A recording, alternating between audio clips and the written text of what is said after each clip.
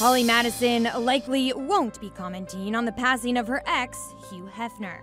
The 37 year old was the Playboy founder's number one girlfriend from 2002 to 2008. The pair stopped speaking following their split. Holly was candid about her thoughts on Hef with ET in recent years, including their breakup.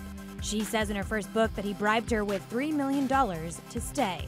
That situation made me feel kind of sad for Hef because I had told him that I was leaving and he was like, no, no, no, they ordered another season of the show, just, you know, stay. And I had finally come to a point in my life where I realized I needed something more genuine than he was able to give me. Like I'd woken up after seven years. I know you and Hef don't really speak much, but if you could say anything to him these days, what, what would you say?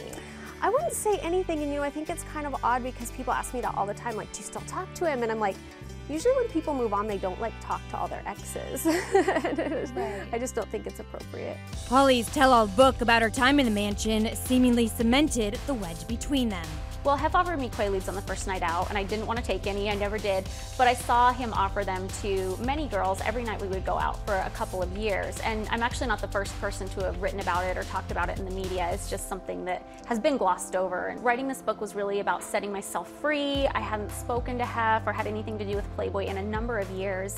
And I wasn't doing it to get revenge or get a reaction or invite him back into my life in any way. It was more about, you know, telling women about my story. And oh, of course I have fond memories of my time there, but, you know, you move on, do other things. If we were to ask you what your best memory of Hef was, what would you say?